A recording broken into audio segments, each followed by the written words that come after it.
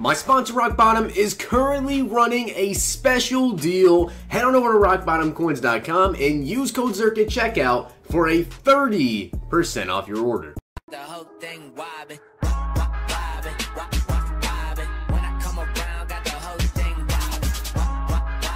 What's going on guys? It's Zirksee coming at you today with another YouTube video and today I'm going to be telling you guys the best way to turn training points into coins. Now this has actually changed in the way that it was the best way uh, within the past couple of weeks here with some stuff that has been changing around, uh, especially around the Team of the Year promo that definitely changed it a lot.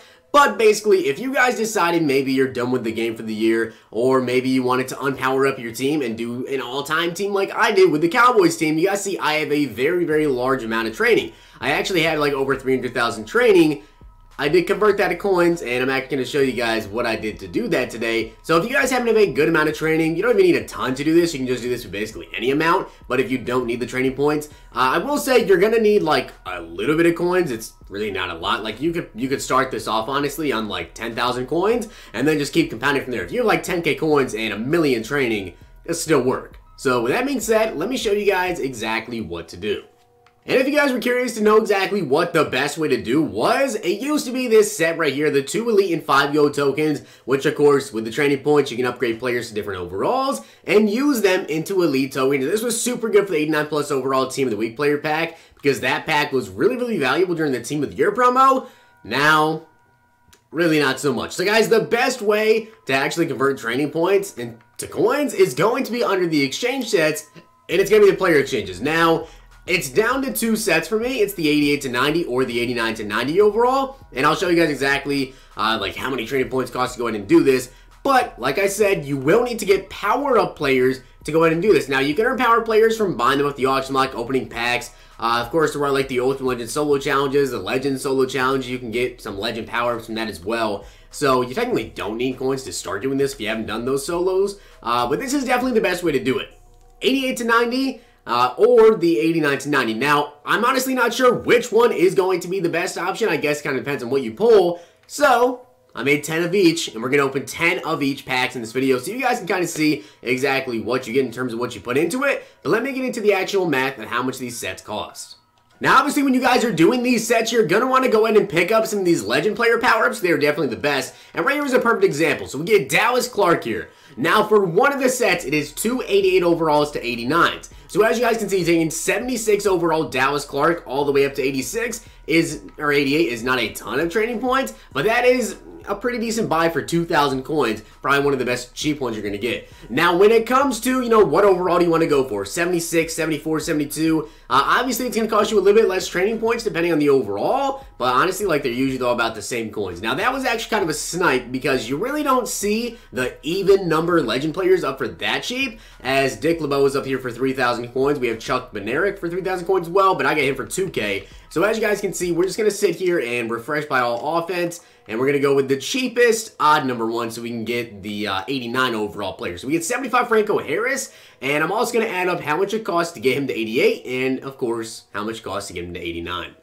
So, because you guys actually need to go in and pick up two of these even overall numbers. Now, if you pick up two 75 overall legend players to power them up, because if you're doing the 89 to 90 exchange set, you need two 89 overall cards. So you go through here and you upgrade Franco Harris all the way to 89 overall using training points. That is going to cost you 1,595 training points to do so. So, of course, you're going to need to do two. That is going to be 3,190 training points total to get yourself a 90 overall player. Now, of course, you do have to add in the coins that's going to cost to pick up these Franco Harrises and, you know, the other players, whatever, you pick up 75, 73s, the, it will vary uh, in terms of how many training points, but for 75 overalls, it's not that bad at all. 3,190, I mean, I have almost 200,000 training, and I'm sure if you guys have, like, a fully powered up team, or in general, if you just have maybe, you know, 10K, 20K training, you can do this set a couple of times and turn that into some serious coins. So picking up two Francos, maybe you'll cost two, 3K a pop. Uh, so maybe 6,000 coins and not that much training to get the 89 to 90.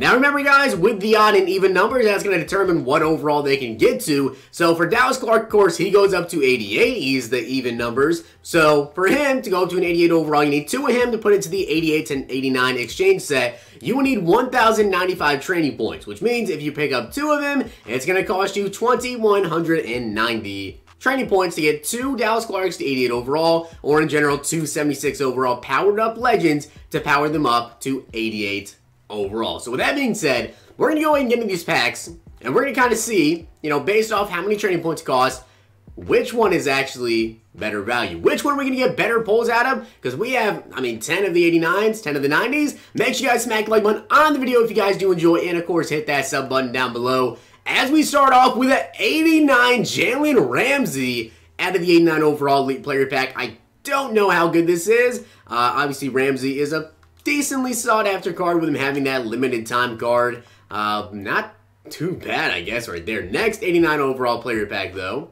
Crap. Did I open up a 90 and then I just opened an 89? I think I believe I did. Is we get 89 overall Bryant Young, and no, I opened an 89, so I'm good. Uh, we get 89 Ultimate Legend Bryant Young here. Probably not going to be the most expensive pull. Uh, of course, Ultimate Legends, Base Elite's to be pretty common out of this pack. I don't know if you can pull the Quick Sell as you get 89 overall Kellen Winslow. I'm not sure if you can pull the Quick Sell players, like if you got the Quick Sell Donald, Quick Sell for like 400k or not, but we get a high legend 89 overall Paul Krause out of this pack as well. I feel like the best possible this pack are probably to be like that Jalen Ramsey, uh, Aaron Donald's probably like 70k still as we get 89 overall Jerry Hughes. Now, he, of course, just got that team MVP. This could be interesting. You might be going for a little bit as we have five more packs remaining. So we'll see exactly how many coins we made off of these as we get another 89 overall basically Antonio Brown right there. These packs actually might not be too bad. Like if they drop some sort of promo where some base elites get new upgrades as we get a legend piece. 89 Michael Strahan. Probably not going for the most. I'd imagine our two best pulls are going to be that Antonio Brown uh, and, of course, the Jalen Ramsey. As we get 89 overall, Barry Sanders as the version 5 of his legend, so that's not too bad there. Final two packs, the 89 overall pack, though. Uh, we get a flashback. Jordan Howard. Maybe if he gets an upgrade, that price will go up in uh, card will go up in price. And on the final 89 overall pack, we get an elite 89 Luke Kuechly. Now, he just got a new upgrade. So, he might be going for a little something. So out of the 89 overall packs, of course, it costs 10 packs. Let's see how many coins we made out of these. So, uh, we got three good base elites. Might be going for something here. We get Kuechly, who's about 40k, so that's not too bad right there. Uh, we get Jordan Howard, who is actually a little bit more expensive than Kuechly. That's kind of a shock there. So about 48k. So we're looking at about maybe 85k. Uh, Barry's listed for 50. I'm going to say 40 because I don't know how much he goes for. So I'm going to say like 120. We'll estimate around there. 24k for Michael Strahan. That's not good. So we'll just go with 140k. Uh, Antonio Brown is going to be 50k. That's not bad. So we're at about 190,000 coins so far through five packs. Jerry Hughes, 40k. 230k made so far. Honestly, can't complain, I guess. Uh, next pack is going to be Paul Krause, or was Paul Krause. So we got 250k so far. Kellen Winslow, 25. Okay, 275. How much is Bryant Young and Jalen?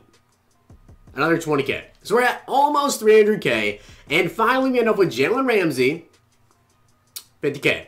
So we made almost about 340, 350,000 coins of these 89 overall packs. So that's not too bad.